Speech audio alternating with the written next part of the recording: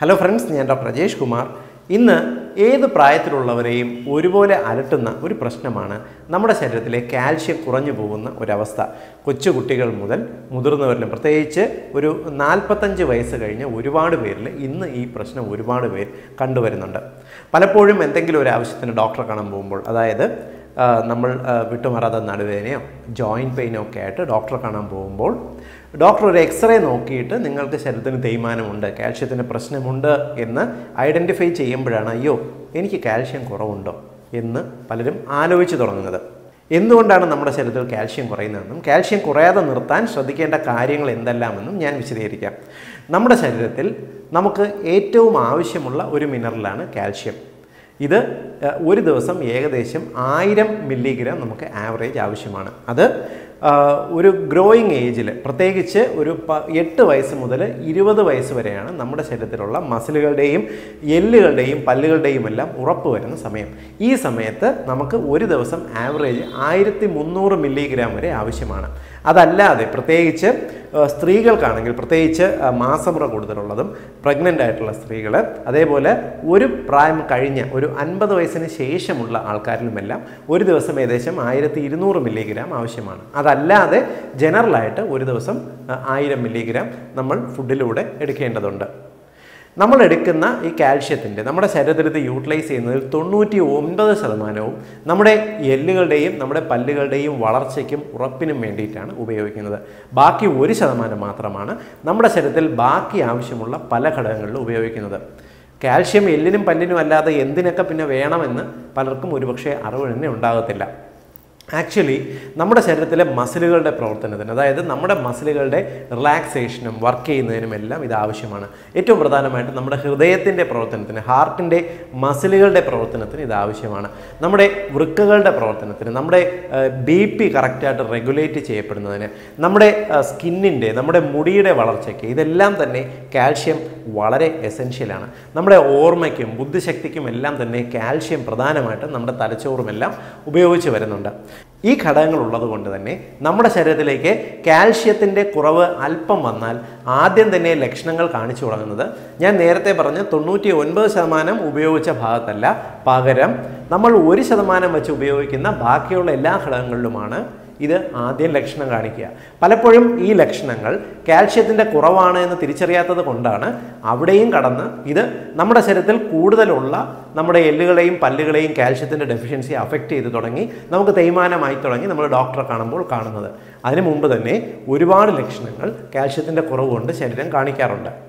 നിങ്ങൾക്ക് എല്ലാവർക്കും അറിയാം നമ്മൾ കഴിക്കുന്ന ഫുഡിലൂടെയാണ് നമുക്ക് കാൽഷ്യം ഏറ്റവും കൂടുതൽ കിട്ടുന്നത്. ഇത് നമ്മുടെ ശരീരത്തിലേക്ക് എത്തിയാൽ പോലും ഇത് നമ്മുടെ ആമാശയത്തിൽ വലിച്ചെടുക്കണം എന്നുണ്ടെങ്കിൽ വൈറ്റമിൻ ഡി പ്രധാനമായിട്ടും ആവശ്യമായിട്ടുണ്ട്. സോ ഈ ഒരു ഘടകങ്ങൾ എത്തിക്കഴിഞ്ഞാൽ ഓട്ടോമാറ്റിക്കലി അത് മാത്രമല്ല നമ്മുടെ പാരാ തൈറോയ്ഡ് ഗ്രന്ഥിയും കാൽഷ്യം മെറ്റബോളിസത്തിന്റെ പ്രവർത്തനത്തിനെ പ്രധാനമായിട്ട് നിയന്ത്രിക്കുന്നുണ്ട്. കാൽഷ്യം കുറഞ്ഞാൽ എന്തൊക്കെ ലക്ഷണങ്ങൾ കാണിക്കുന്നുവെന്ന് ഞാൻ വിശദീകരിക്കാം. ഏറ്റവും പ്രധാനമായിട്ട് നമുക്കുള്ളത് അമിതമായിട്ടുള്ള ക്ഷീണം. നമുക്ക് ഒരു കാര്യവും ചെയ്യാനുള്ള ഉന്മേഷമില്ലാതിരിക്കുക. ഒരിക്കലും ഇത്തരം ഒരു ലക്ഷണം കണ്ടാൽ അത് കാൽഷ്യത്തിന്റെ കുറവാണ് എന്ന് പലരും ചിന്തിക്കുകയില്ല. ഞാൻ നേരത്തെ പറഞ്ഞല്ലോ നമ്മുടെ മസിലുകളുടെ പ്രവർത്തനത്തിന് കാൽഷ്യത്തിന്റെ പ്രവർത്തനം അത്യാവശ്യമാണ്. പലപ്പോഴും കൺട്രാക്ട് ചെയ്യുന്ന മസിലുകൾ പ്രോപ്പറായിട്ട് റിലാക്സ് ചെയ്യണം എന്നുണ്ടെങ്കിൽ കാൽഷ്യം കൃത്യമായിട്ട് മസിലുകളിൽ ഉണ്ടാകണം. അതായത് നിങ്ങൾക്ക് കാൽഷ്യം കുറവുണ്ടെങ്കിൽ ഇടയ്ക്കിടയ്ക്ക് വരുന്ന മസിൽ പിടുത്തം. ഒരുപാട് പേര് പറയാറുണ്ട് എനിക്ക് കാലുളുക്കി ഡോക്ടറെ നടു പിടിച്ച് ഡോക്ടറെ എന്നൊക്കെ പറഞ്ഞിട്ട് വരാറുണ്ട്. പലപ്പോഴും മസിലുകൾ ഇങ്ങനെ ചില ഭാഗത്ത് കൺട്രാക്ട് ചെയ്ത് കഴിഞ്ഞാൽ റിലാക്സേഷന് ബുദ്ധിമുട്ട് വരുന്നത് ഇത്തരത്തിൽ കാൽഷ്യത്തിന്റെ കുറവ് കൊണ്ടാണ് പലപ്പോഴും നിങ്ങൾ ആ ഭാഗത്ത് ചൂട് പിടിക്കുമ്പോഴോ തടവുമ്പോഴോ കുറവും കണ്ടു എന്ന് വിചാരിച്ച് നിങ്ങൾ ഒരുപക്ഷെ അത് കാൽഷ്യമാണെന്ന് സംശയിക്കത്തില്ല. അപ്പോൾ വിട്ടുമാറാതെ വരുന്ന ശരീരത്തിലെ മസിൽ പിടുത്തം മസിൽ വേദന ഒരുപക്ഷെ നിങ്ങൾക്ക് ഹൃദയമിടിപ്പ് ഇടയ്ക്കിടയ്ക്ക് അറിയാൻ പറ്റുക. ഹൃദയത്തിന്റെ പ്രവർത്തനത്തിൽ ചെറിയ വ്യത്യാസം. ഞാൻ പറഞ്ഞല്ലോ ഹൃദയത്തിലെ മസിലുകളുടെ പ്രവർത്തനത്തിന് ഇത് ആവശ്യമാണ്. കൂടാതെ ബി പിയിൽ വരുന്ന വേരിയേഷൻ ഇതൊക്കെയാണ് സാധാരണ കാണുന്ന ഇനിഷ്യലി കാണുന്ന കാൽഷ്യത്തിന്റെ ഡെഫിഷ്യൻസിയുടെ സിംറ്റംസ്. ഇതുകൂടാതെ നിങ്ങൾക്ക് ഒരുപക്ഷെ വിട്ടുമാറാതെ മുടി ഒഴിച്ചിൽ വരാം ഉറക്കക്കുറവ് വരാം. അതായത് നിങ്ങൾ കിടന്നാൽ പോലും സമയത്തിന് കിടന്നാൽ പോലും ആവശ്യത്തിന് ഉറക്കം കിട്ടത്തില്ല. ഡിസ്റ്റേബ്ഡ് സ്ലീപ്പ് ഓർമ്മക്കുറവ് ഇതൊക്കെ ഇതിന്റെ കാൽഷ്യത്തിന്റെ കുറവിന്റെ മറ്റ് ചില ലക്ഷണങ്ങൾ കണ്ടുവരാം. ചിലർക്ക് മലം പിടുത്തം പോലുള്ള ലക്ഷണങ്ങളും കാൽഷ്യത്തിന്റെ കുറവുകൊണ്ട് കണ്ടുവരാറുണ്ട്. ഇനി കുട്ടികൾ കുട്ടികൾക്കാണെന്നുണ്ടെങ്കിൽ ഞാൻ ഈ പറഞ്ഞ ലക്ഷണങ്ങളല്ലാതെ തന്നെ അവർക്ക് കൈകാൽ മുട്ടുകളിൽ വേദന. പലപ്പോഴും കുട്ടികൾ ഓടിക്കളിച്ചിട്ട് വരുമ്പോൾ വൈകുന്നേരങ്ങളിൽ അവർക്ക് കാലിന്റെ മുട്ടുകൾ. പ്രത്യേകിച്ച് കാൽമുട്ടിന്റെ അല്പം മുകളിലായിട്ട് അവർക്ക് വിട്ടുമാറാതെ വേദന കൈ കുഴകൾക്ക് വേദന. കാരണം മസിലുകൾക്ക് ഉറപ്പ് കിട്ടണമെങ്കിൽ കാൽഷ്യം ആവശ്യമാണ്. സോ ഈ ഒരു വേദന കാൽ കഴപ്പ്. പലപ്പോഴും കുട്ടികൾ തണുപ്പ് സമയമാകുമ്പോൾ കാൽ തടവി തരാൻ പറയാറുണ്ട്. മസാജ് ചെയ്ത് കഴിഞ്ഞാൽ ഈ പെയിൻ കുറയാറുണ്ട്. ഇവയും ഇവയുമെല്ലാം തന്നെ നമുക്ക് കാൽഷ്യത്തിന്റെ ഡെഫിഷ്യൻസി ആയിട്ട് കണക്കൂട്ടാൻ സാധിക്കും. മുതിർന്നവരാണെങ്കിൽ ഒരുപക്ഷെ ഈ ഈ ജോയിന്റ് പെയിൻസ് വരുന്നത് നിങ്ങൾക്കറിയാം ഞാൻ നേരത്തെ പറഞ്ഞ പോലെ എല്ലുകൾക്കും പല്ലുകൾക്കും വരുന്ന വേദന സ്റ്റെപ്പുകൾ കയറുമ്പോൾ മുട്ടിന് വരുന്ന വേദന മുട്ടിനകത്ത് നമുക്ക് കിടുവിടാ ശബ്ദം മുട്ടിനകത്ത് എന്തോ പൊട്ടി തകർന്ന് മുട്ടത്തോട് കിടക്കുന്ന പോലുള്ള ഒരു തോന്നൽ മുട്ടിനകത്ത് വരുന്ന നീര് ഇതെല്ലാം തന്നെ കാൽഷ്യത്തിന്റെ ഡെഫിഷ്യൻസി കൊണ്ട് ഉണ്ടാകാറുണ്ട്. മറ്റു ചിലർക്കാണെന്നുണ്ടെങ്കിൽ പല്ലുകൾക്ക് പെട്ടെന്ന് തന്നെ പല്ലുകൾ കേടായി തുടങ്ങുന്ന ഒരവസ്ഥ കാണാം. ചിലർക്ക് നഖത്തിൽ അതിന്റെ പ്രോപ്പർ ലക്ഷണങ്ങൾ കാണിക്കാം. നഖത്തിന് നമുക്ക് ഒരു ഒരു ഹെൽത്തി ലുക്ക് നഖത്തിനുണ്ടാകത്തില്ല നഖത്തിന്റെ അകത്ത് ഇടയ്ക്ക് വെളുത്ത നിറത്തിലുള്ള ചേഞ്ചസ് വരാം. നഖം ഇടയ്ക്ക് പൊട്ടിപ്പോവുക നഖത്തിൽ വീണ്ട് കീറൽ വീഴുക പോലുള്ള ലക്ഷണങ്ങൾ. ഇവയും എല്ലാം തന്നെ നമുക്ക് കാൽഷ്യത്തിന്റെ ഡെഫിഷ്യൻസി ആണ് എന്ന് കൺഫേം ചെയ്യാൻ സാധിക്കും. ഈ പറഞ്ഞതെല്ലാമാണ് സാധാരണ കാൽഷ്യം കുറയുന്നതുകൊണ്ട് നമ്മുടെ ശരീരത്തിൽ വരുന്ന ലക്ഷണങ്ങൾ. ഇത് കൂടുതൽ ബുദ്ധിമുട്ട് വരുന്ന സമയത്ത് ഓസ്റ്റിയോപൊറോസിസ് പോലുള്ള അതായത് എല്ലുകൾക്ക് തേയ്മാനം പോലുള്ള എല്ലുകൾ വീക്കായിട്ടുള്ള പല സിറ്റുവേഷൻ കണ്ടുവന്ന് വരാം ഉദാഹരണം പറഞ്ഞാൽ നിങ്ങൾ സ്റ്റെപ്പ് കയറുമ്പോഴോ ഇല്ലെങ്കിൽ നിങ്ങൾ എന്തെങ്കിലും ഒരു കാൽ അറിയാണ്ട് നിങ്ങൾ സ്റ്റെപ്പിന്റെ സൈഡിൽ തട്ടിയാലോ ഇല്ലെങ്കിൽ നിങ്ങൾ ബൈക്ക് പോകുമ്പോൾ ഒരുപക്ഷെ കിക്ക് ചെയ്യുമ്പോഴോ ഇല്ലെങ്കിൽ സ്റ്റാൻഡ് അറിയാണ്ട് കാലിൽ തട്ടിയാലോ എല്ലാം തന്നെ എല്ലുകൾക്ക് പൊട്ടൽ വരുന്ന സിറ്റുവേഷൻ നിങ്ങൾ വീഴുന്ന സമയത്ത് കൈ അറിയാതെ നിലത്ത് കുത്തുന്നു. നിങ്ങളുടെ എല്ലിന്റെ സൈഡ് ഒടിഞ്ഞു പോകുന്നു. ഇതെല്ലാം തന്നെ നിങ്ങളുടെ എല്ലുകളുടെ ബലം കുറയുന്നതിന്റെ കാൽഷ്യം കുറയുന്നതിന്റെ ഓസ്റ്റിയോപൊറോസിന്റെ പ്രധാന ലക്ഷണങ്ങളാണ്. കൂടാതെ വിട്ടുമാറാതെ വരുന്ന തലവേദന. നമുക്കൊരു കാര്യത്തിലും കോൺസെൻട്രേറ്റ് ചെയ്യാൻ പറ്റാതെ വരിക. കണ്ണുകൾക്കിടയ്ക്ക് വരുന്ന മങ്ങൽ അല്ലെങ്കിൽ വീക്ക്നെസ് ഇതെല്ലാം തന്നെയും കാൽഷ്യത്തിന്റെ കുറവ് കൊണ്ട് കണ്ടുവരാറുണ്ട്. മുൻപ് കാലത്ത് ആവശ്യത്തിന് കാൽഷ്യം കിട്ടാതെ അതായത് ഭക്ഷണത്തിലൂടെ കിട്ടാതെ ഒരുപാട് പേർക്ക് ഇത്തരം ഡെഫിഷ്യൻസികൾ കണ്ടുവരാറുണ്ട്. എന്നാൽ ഇപ്പോഴത്തെ കാലത്ത് ആൾക്കാർക്ക് കാൽഷ്യം വേണമെന്ന് നല്ല അവയർനെസ് ഉണ്ട്. ആവശ്യത്തിന് നിങ്ങൾ കാൽഷ്യം കഴിക്കുന്നുമുണ്ടാവും ഭക്ഷണത്തിലൂടെ. എങ്കിൽ പോലും പലർക്കും പരിശോധിക്കുന്ന സമയത്ത് ഇത്തരത്തിൽ കാൽഷ്യം ഡെഫിഷ്യൻസി വരാറുണ്ട്. എന്തുകൊണ്ടാണ്? ഇത്തരത്തിൽ നമ്മുടെ ഭക്ഷണത്തിലൂടെ കാൽഷ്യം ചെന്നാൽ പോലും നമ്മുടെ ശരീരം ഇതിനെ വലിച്ചെടുക്കാത്ത സാഹചര്യം ഉണ്ടാകുന്നത് എന്ന് നോക്കാം. ഏറ്റവും പ്രധാനപ്പെട്ടത് ഞാൻ നേരത്തെ പറഞ്ഞല്ലോ വൈറ്റമിൻ ഡിയുടെ കുറവാണ്.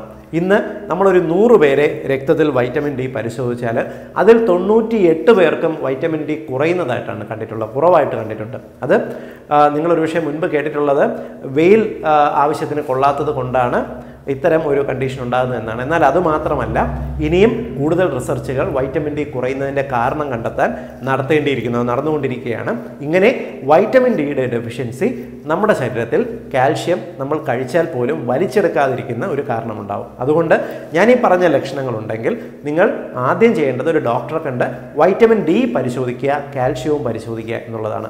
രണ്ടാമത്തെ കണ്ടീഷൻ നിങ്ങൾക്ക് തൈറോയ്ഡ് മെറ്റബോളിസം പ്രശ്നമുണ്ടെങ്കിൽ അല്ലെങ്കിൽ സർജറിയിലൂടെ തൈറോയ്ഡ് ഗ്രന്ഥി നീക്കം ചെയ്തിട്ടുണ്ടെങ്കിൽ അതോടൊപ്പമുള്ള പാരോ തൈറോയ്ഡ് ഗ്രന്ഥിയും നീക്കം ചെയ്യപ്പെടാം. നിങ്ങൾക്ക് ഇത്തരം കാൽഷ്യം ശരീരം വലിച്ചെടുക്കുന്നതിന് തടസ്സങ്ങൾ നേരിട്ട് വന്നു വരാം. ഇതൊന്നുമല്ലാതെ നിങ്ങൾ കഴിക്കുന്ന ഫുഡിൽ അമിതമായിട്ട് സോഡിയം വന്നിട്ടുണ്ടെങ്കിൽ അതായത് ഉപ്പിന്റെ കണ്ടന്റ് സോഡിയം കണ്ടന്റ് ഒരുപാട് വന്നിട്ടുണ്ടെങ്കിൽ ഇന്നത്തെ നിങ്ങൾക്കറിയാം ഫാസ്റ്റ് ഫുഡുകളെല്ലാം തന്നെ അമിതമായിട്ട് സോഡിയം ചേർക്കാറുണ്ട്. കാരണം ഒരു ടേസ്റ്റ് മേക്കർ എന്ന നിലയിലും നമ്മൾക്ക് കൂടുതൽ ഭക്ഷണത്തോട് അട്രാക്റ്റീവ് ആകാൻ എന്ന നിലയിലും ഫുഡ് പെട്ടെന്ന് കേടാകാതിരിക്കാനും ഇന്ന് നമ്മുടെ ബേക്കറിയിൽ കിട്ടുന്ന പ്രോസസ്സ് ചെയ്ത് വരുന്ന എല്ലാ ഭക്ഷണങ്ങളിലും സോഡിയത്തിന്റെ അളവ് കൂടുതലാണ്. സോഡിയം അമിതമായിട്ട് നമ്മുടെ ശരീരത്തിലെത്തിയാൽ ഓട്ടോമാറ്റിക്കലി ആ കഴിക്കുന്ന ഫുഡിനകത്ത് കാൽഷ്യം ഉണ്ടെങ്കിൽ പോലും നമ്മുടെ ശരീരം ഇത് വലിച്ചെടുക്കത്തില്ല. ഇത് ഭക്ഷണത്തിൽ നിന്ന് നമുക്ക് ഉപകാരപ്പെടാതെ ഇത് പുറത്തേക്ക് പോവുകയാണ് ചെയ്യുന്നത്.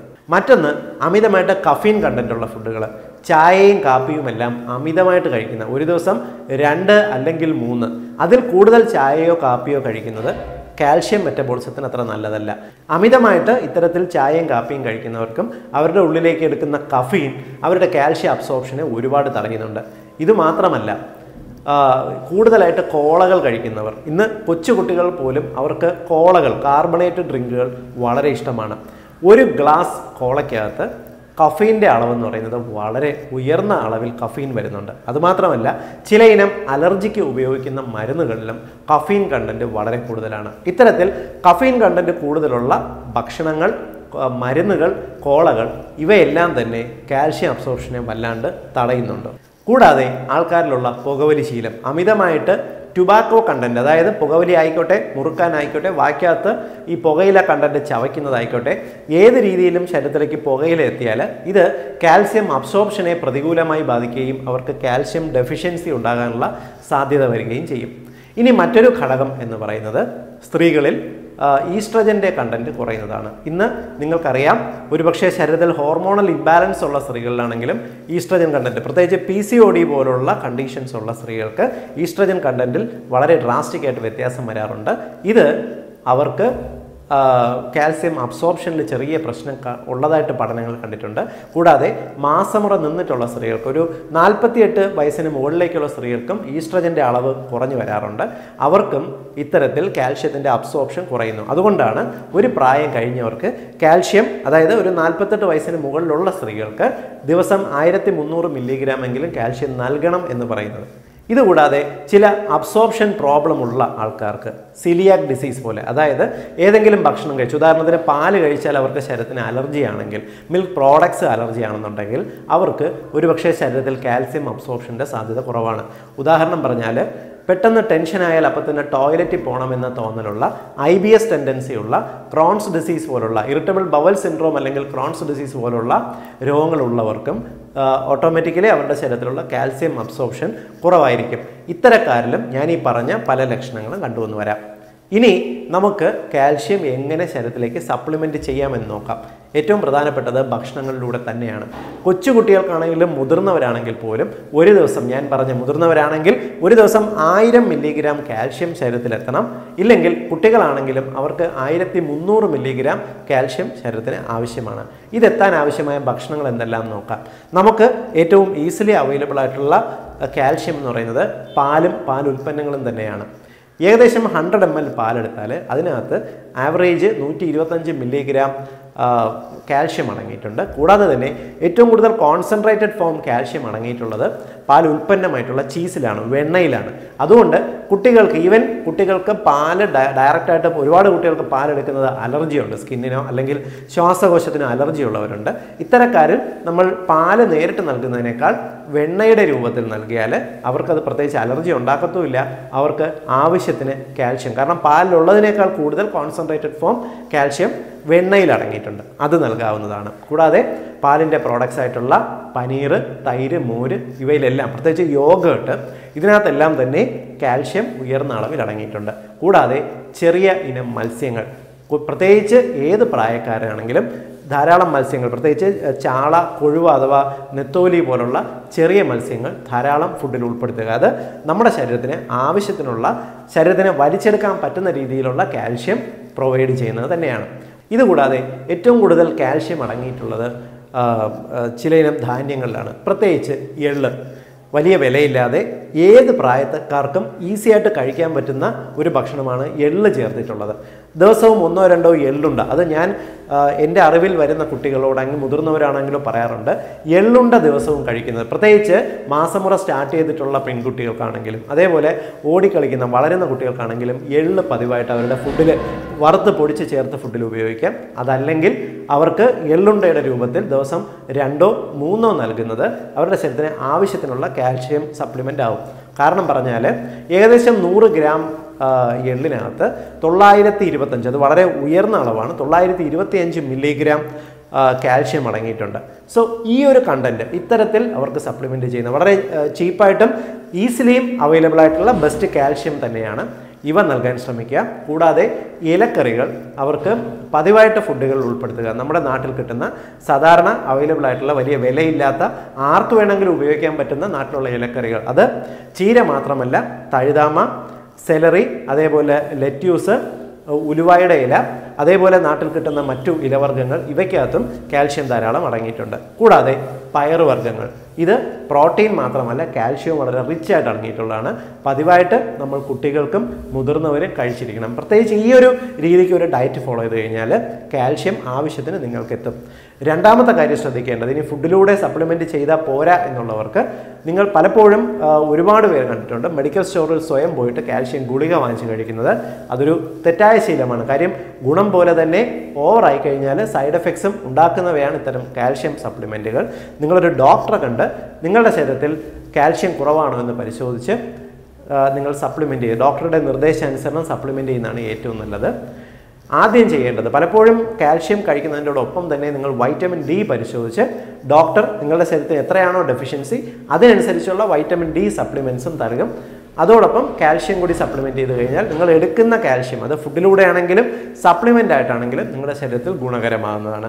ഇത് കേൾക്കുന്ന പലർക്കും കാൽഷ്യം നിങ്ങളുടെ ശരീരത്തിൽ കുറവുണ്ടോ? അല്ലെങ്കിൽ നിങ്ങളുടെ കുട്ടികളുടെ ശരീരത്തിൽ കുറവുണ്ടോ എന്ന് ഒരുപക്ഷെ ഒരു ഉദ്ദേശം ഒരു ഐഡിയ കിട്ടിയിട്ടുണ്ടാവും. എല്ലാ സുഹൃത്തുക്കളുടെയും അറിവിലേക്കായി ഷെയർ ചെയ്യുക. കാരണം ഒരുപാട് പേർക്ക് ഇന്ന് കാൽഷ്യം കുറവിന്റെ ലക്ഷണങ്ങൾ കൊണ്ട് പലയിനം രോഗങ്ങൾ ഉണ്ടാകുന്നുണ്ട്. എല്ലാവരുടെയും അറിവിലേക്കായി നിങ്ങളെ ഇൻഫർമേഷൻ ഷെയർ ചെയ്യുക. വീണ്ടും മറ്റൊരവസരത്തിൽ മറ്റൊരു വിഷയവുമായി കണ്ടുമുട്ടാം. ബൈ